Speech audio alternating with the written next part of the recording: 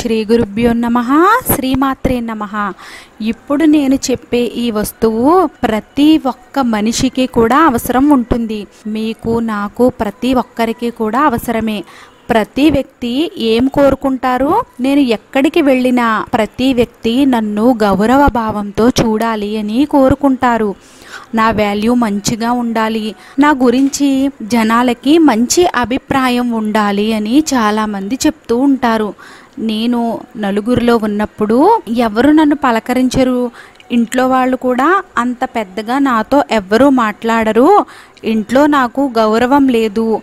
ఆఫీస్లో బాస్ ఎదురుగా బంధించినట్లుగా ఉంటుంది నా పరిస్థితి. నాకు సుఖం లేదు అని అనుకునేవారు. మీరు ఎవరి గురించైనా ఆలోచించండి.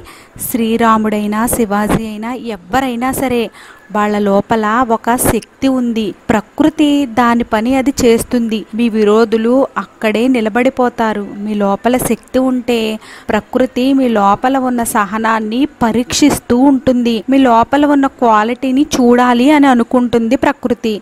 అందువల్లనే రకరకాల మనుషులని మనకి కలుపుతూ ఉంటుంది. రకరకాల కండిషన్స్తో మనల్ని ముందుకు నడిపిస్తూ ఉంటుంది. ఎక్కడైతే సక్సెస్ వస్తుందో అక్కడికి తీసుకుని వెళ్ళి మనల్ని కూర్చోబెడుతుంది. మీరు ఇబ్బందులలో ఉన్నారు అంటే ప్రకృతి మిమ్మల్ని పరీక్షిస్తూ ఉంది అని అర్థము. ధైర్యంగా ఉండండి. వెనక అడుగు వేయకండి. చెడ్డ దారిలోకి వెళ్ళకండి. సరైన దిశలోనే ముందుకు వెళ్ళండి. మంచి శక్తి యొక్క మద్దతు మనకి వస్తుంది. మంచి పనులను చెయ్యాలి. మీరే చూస్తారు మీకు మంచి రిజల్ట్ వస్తుంది. నేను ఈ రోజు చెప్పే రెమెడీ ఒక్కోసారి అనుకుంటూ ఉంటారు నేను ఒక్కడినే. నాకు చాలా మంది విరోధులు అయిపోయారని ఎప్పుడూ కూడా చూడండి ఒక్కరికి ఒక వ్యక్తే శత్రువుగా ఉండరు. ఇది మీరు అర్థం చేసుకోవాలి. ఎప్పుడూ కూడా ఒకే వ్యక్తి వలన మీరు ఇబ్బందులు పడడు పడరు. మీరు చూడండి ఎవరైతే వ్యక్తి స్వార్థపరుడు కపటమైన మనసు కలిగిన వాడు ఎదుట వారిని గొప్పని మంచిని చూసి ఓరవలేనివాడు అటువంటి వాడి మనస్సు చాలా ఫాస్ట్గా పనిచేస్తూ ఉంటుంది. ఆ చెత్త బుద్ధితో ఎదుటి వాళ్ళని కూడా మీకు విరోధులుగా తయారు చేస్తూ ఉంటారు. ఇద్దరు వ్యక్తులు మిమ్మల్ని ఎప్పుడైతే తప్పు పడుతున్నారో మూడో వ్యక్తి వీళ్ళిద్దరూ ఉన్నారు కదా వీళ్ళే కరెక్ట్ అయి ఉండవచ్చు. అవతల ఒక వ్యక్తే కదా అతను సరైన వాడు కాదేమోనని ఆలోచించవచ్చు. అలా ఆలోచించి ఆ ఇద్దరు చెడ్డవాళ్ళతో ఇతను చేతులు కలుపుతాడు. అలా ఒక్కొక్కరు చేరి విరోధులు బలవంతులుగా తయారవుతారు. మీరు ఆలోచించరు కదా వాళ్ళని మన వైపు తిప్పుకోవాలని. ఎవరైతే మంచిగా స్వచ్ఛంగా సరైన మార్గంలో వెళుతూ ఉంటారో వాళ్ళు ఎప్పుడూ ఆ విధంగా ఆలోచించరు. ప్రకృతి నియమాన్ని మీరు గమనించండి. ఒక విరోధి ఉన్నారు. వారు దుష్ట స్వభావులు. వాళ్ళ వెనకాల పది మంది విరోధులను తయారు చేస్తారు. కానీ మంచివాడు నేను మంచిగానే ఉన్నాను కదా అని అదే ఆలోచనలో ఉంటాడు. తల్లిదండ్రులు ఆలోచించినంతగా బిడ్డల గురించి ఎవ్వరూ ఆలోచించరు. అలాగే మనం అందరము ప్రకృతి యొక్క బిడ్డలము విరోధులను అవాయిడ్ చేయండి. మీరు ఏదైనా ప్రాబ్లమ్స్ని ఫేస్ చేస్తూ ఉంటే మీరు ఈ రెమెడీని చేయండి. అటువంటి వ్యక్తుల నుండి మీకు రక్షణ అనేది లభిస్తుంది. ఈ పరిహారం చేసిన తరువాత మీ గౌరవ మర్యాదలు తప్పక పెరుగుతాయి. మీకు నాలుగు దిక్కుల నుండి అందరి నుండి గౌరవ భావము అనేది మీకు లభిస్తుంది.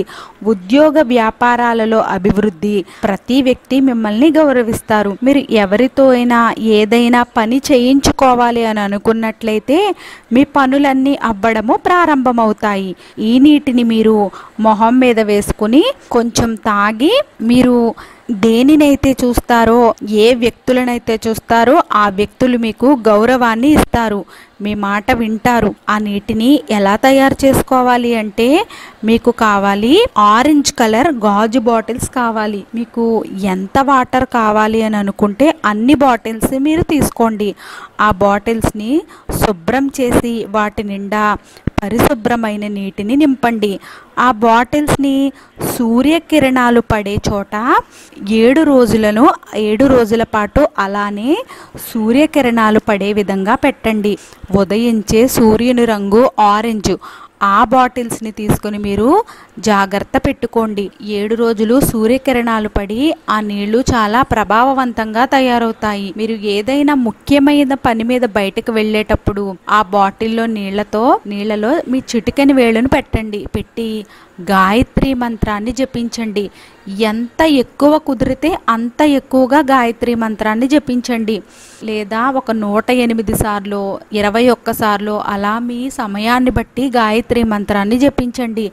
లేకపోతే ఏదైనా సూర్య గాయత్రి మంత్రం కానీ సూర్య మంత్రాన్ని కానీ మీ చిటికన వేలుని ఆ నీటిలో ఉంచి మాత్రమే మీరు ఈ మంత్ర జపాన్ని చేయాలి మంత్రం చేస్తున్నంతసేపు కూడా వేలు నీళ్ళలోనే ఉండాలి. ఆ నీటితో మీరు మొహం కడుక్కోండి. మంత్ర జపం పూర్తి అయిన తర్వాత మీరు ముఖ్యమైన పని మీద బయటికి వెళ్ళే ముందు ఆ నీటితో మీరు ముఖం కడుక్కోండి. కళ్ళపై ఆ నీటిని చిలకరించండి. కొద్దిగా నీటిని తాగండి. ఇంటి నుండి బయలుదేరి వెళ్ళండి. ఎక్కడైతే మీ దృష్టి పడుతుందో ఆ వ్యక్తులు మిమ్మల్ని గమనించకుండా ఉండలేరు. మీలో ఉన్న పాజిటివ్ ఎఫెక్ట్ ఎదుటి వారిపై పడుతుంది. ఎదుటి వారి కళ్ళల్లో కళ్ళు పెట్టి చూస్తూ మీరు చెప్పండి. మీ పని ఏంటి అని. అది తప్పక జరుగుతుంది. ఆ పని మీ ఆత్మబలంతో చెప్పండి. ఈ పరిహారము చాలా తేలికైనది.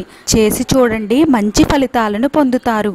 ఈ వీడియో నచ్చినట్లయితే మన విరాట్ మంత్ర ఛానల్ని లైక్ చేయండి షేర్ చేయండి సబ్స్క్రైబ్ చేసుకోండి. ఈ వీడియో నచ్చినట్లయితే కామెంట్ బాక్స్లో జై శ్రీరామ్ అని తప్పక కామెంట్ చేయండి.